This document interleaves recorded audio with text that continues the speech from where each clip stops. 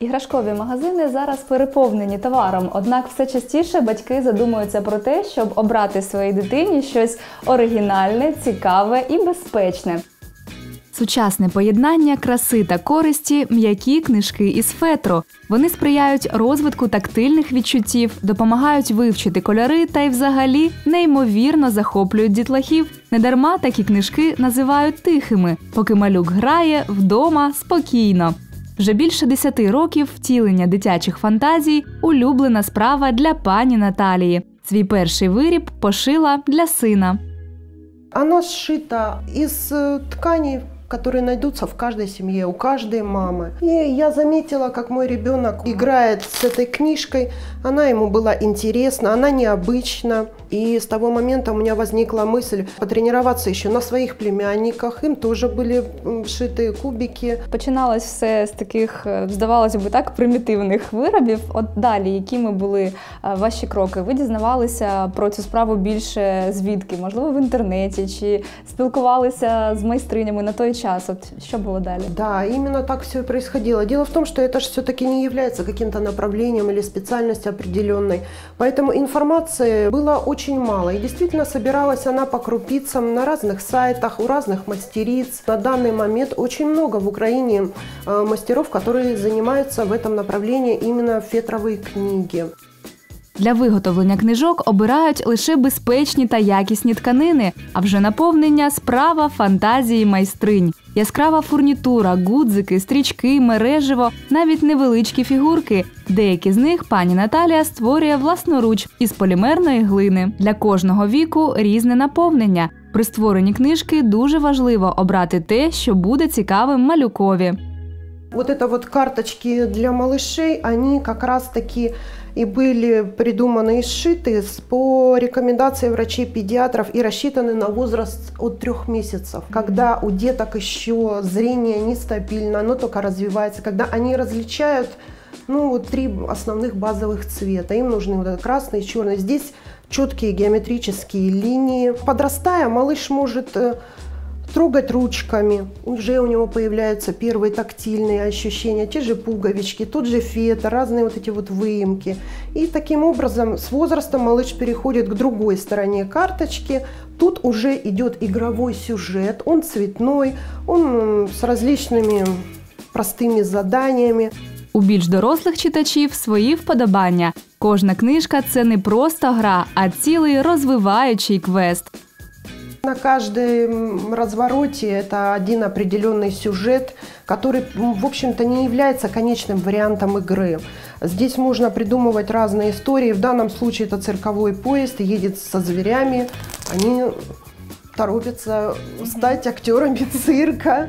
И вот уже следующая страница – это как раз-таки манеж. Тут у нас э, задание подобрать зверей по силуэтам, распределить их. Вариантов для игры очень много. Ценность э, фетровых развивающих книжек именно в ее мобильности, в ее трансформации. Она рассчитана не на один какой-то возраст. Подрастая, малыш э, усложняет себе работу, выбирает новые сюжеты. Возможно, книжка переходит по наследству от старшего э, к младшему. Тем более, что ее же можно чистить, ее можно приводить в порядок и, в общем-то, играть с ней бесконечно долго. Наша майстриня впевнена, зацікавити дітлахів можна не лише книгами, головне бажання. Захотелось сшить по мотивам сказки «Рукавичка» именно пальчиковый театр. Пальчиковый театр, пальчиковые куклы. Я уже шила таких пальчиковых героев, такие игрушки развивающие. Они очень нравятся деткам. Мені все дуже подобається. Я б дійсно я б сама роздивлялася і гралася б не лише б своїм дітям, а й собі купила б. А от з позиції виготовлення тепер перейдемо більш до технічної частини. Так скільки у вас, наприклад, е, займає виготовлення однієї книжки, такої ну найбільш простої, і коли вам краще творити? От які у вас там не знаю часові рамки? Не буду оригинальной, скажу, что ночью почему-то работается лучше.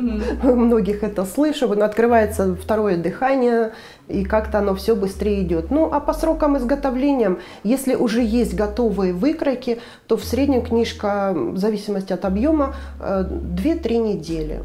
Но если выкроить книг, если это на стадии идеи, то эта идея может э, витать в голове и зреть весьма и весьма долго. Как-то оформляться, переделываться, видоизменяться и только потом будет трансформироваться. Свої вироби пані Наталія не рахує. Найбільша радість для неї, коли книжка знаходить свій дім, але спочатку проходить перевірку найголовнішого критика. Я сижу, шью, что-то делаю, он подходит, смотрит, берет те же самые пальчиковых героев, играет ими, как-то подсказывает. э, И я прислушиваюсь к его мнению, потому что ребенок лучше понимает ребенка, он видит, поэтому мне ценно его мнение и полезно. Залежно від пори року змінюється і асортимент. І діти, і дорослі з нетерпінням чекають на новорічні свята. Тематичні книжки, ялинкові прикраси, творчий процес завжди надихає та налаштовує на правильну атмосферу. Хочу показати вам адвент-календарь, который я своему сыну шила давно. Мы им пользуемся не один год. Это вот такое интересное направление. Кармашки на каждый день э, месяца. Я взяла месяц, то есть у меня 31 кармашек на весь декабрь.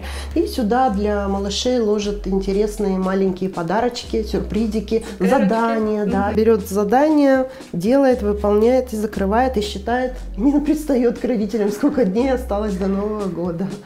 Якщо творча енергія кипить, руки не знають відпочинку. Нові ідеї можна втілити не лише у виробах для дітлахів, які робить наша героїня.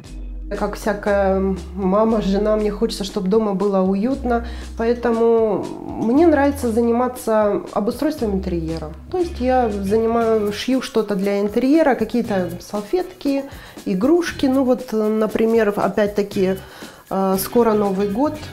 Мне было интересно пошить такие новогодние салфетки. Тем более, м, когда ты шьешь что-то дополнительно, это все равно улучшает качество твоей работы, повышает твое мастерство.